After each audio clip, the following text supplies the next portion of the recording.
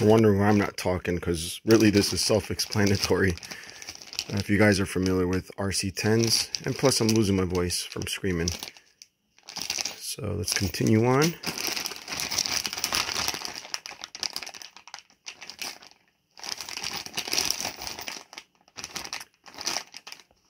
Yeah, so these are the new shocks, the new big bore shocks. Beautiful new body. Almost thought there was two bodies in here because it felt heavy, but there it is. Beautiful shape. Front and rear wing.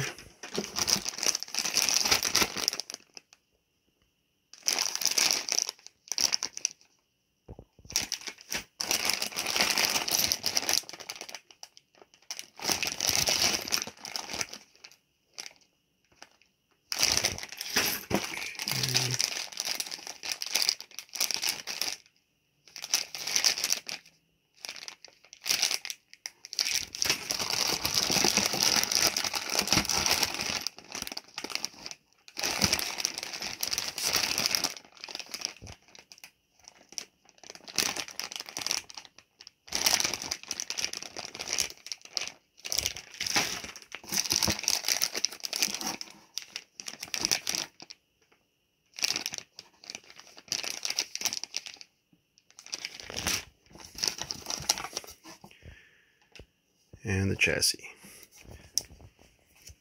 Don't know if I'll do like a build video. I figured I didn't see any unboxing videos in case you guys like that stuff. I didn't see one online, so this is it. Don't go into much detail as far as the differences, but I might do that if I do a build video. I doubt I'll have the time. But uh figured somebody might want to see a boring unboxing video